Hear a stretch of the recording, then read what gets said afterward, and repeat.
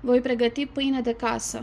M-am gândit de ce nu, pentru că ca să cumpăr o pâine din comerț făcută la cuptor, cu banii de la o pâine fac de fapt acasă patru pâine, așa că e bine să mai salvăm bani. Am aici 2 kg de făină. Voi folosi 2 kg de făină pentru 4 pâini, așa zic eu. Sare, apă călduță și drojdie. Ingrediente simple și ușor de făcut. Trebuie doar puțin, puțin efort și vom avea o pâine ca la țară. Pregătim drojdia. O punem un pic la dizolvat.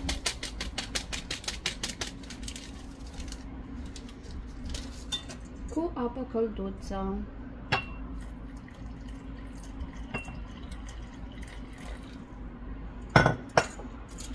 Vreau să fac o pâine fără zahăr. Ne pregătim de frământat, am cernut făina și am să pun uh, sare. Eu am să pun uh, două linguri mari rase pentru că am 2 uh, kg de făină și am să amestec să se piardă aici prin făină ca să nu aibă contact direct cu drojdia pentru că afectează creșterea. E o făină foarte pufoasă. Și am să pun drojdia.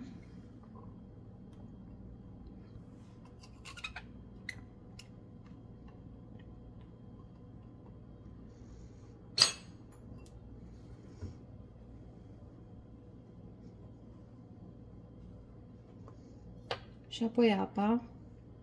Voi face un aluat uh, moale. Nu vreau să fie tare pentru că pâinea va ieși prea tare. Și am să vă zic la final cât, uh, cât apă am să folosesc eu. Apa este călduță.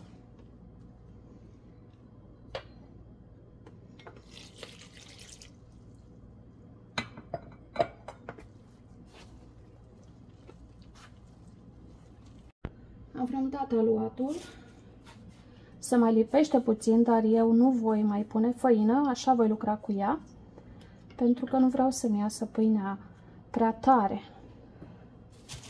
Asta e varianta care am învățat-o eu la bunici, dacă are găuri, uh, este bună de, de pus în tavă. Dați deja face bule de aer aici. Este un aluat foarte bun.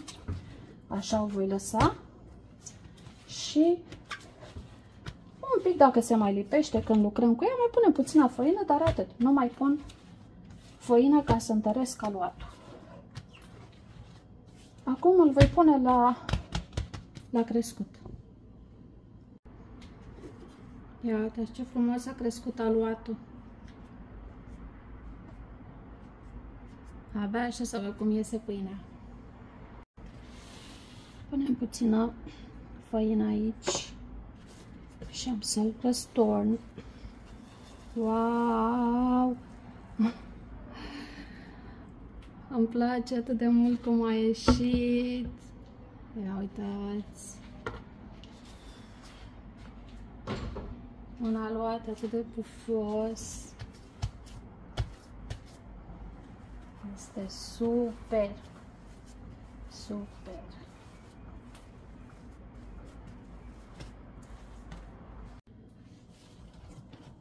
Am uh, cântărit cam 900 și ceva de grame.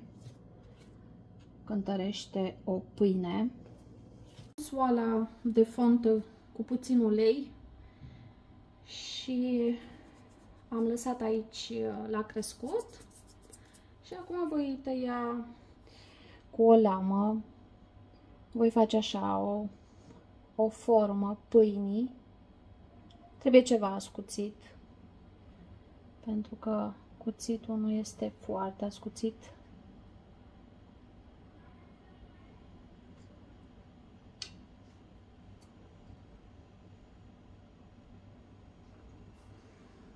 Și la cuptor până se lumenește. Pâinea este gata, a ieșit foarte bine, a crescut frumos. Am ținut-o la cuptor cam vreo 50 de minute. Am făcut aici și o pâine cu semințe. Arată foarte bine. Uitați. Cam așa arată pâinea mea rustică de casă. Este super, super pufoasă, crocantă la exterior și pufoasă înăuntru. Sunt foarte mândră de rezultat.